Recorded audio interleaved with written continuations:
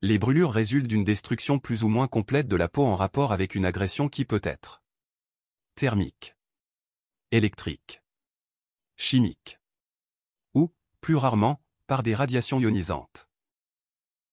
La gravité clinique est proportionnelle à l'étendue et à la profondeur de la brûlure. À l'existence de lésions associées.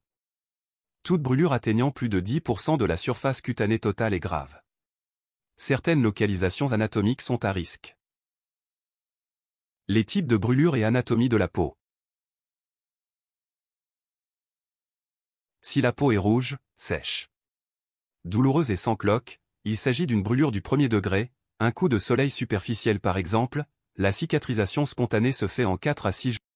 Si la peau brûlée est très douloureuse, gonflée, rouge, suintante et couverte de cloques contenant du liquide clair, il s'agit d'une brûlure du deuxième degré superficiel. La cicatrisation est spontanée et sans séquelles en 10 à 14 jours. Si la peau située sous les cloques blanches est pâle et que les lésions sont peu sensibles, il s'agit d'une brûlure du deuxième degré profond. L'épiderme et le derme superficiel sont détruits, la cicatrisation peut être longue, jusqu'à 35 jours. Si la peau présente une plaie brune ou noire, qu'il n'y a pas de cloque et que la douleur n'est ressentie que sur le tour de la plaie, il s'agit d'une brûlure du troisième degré.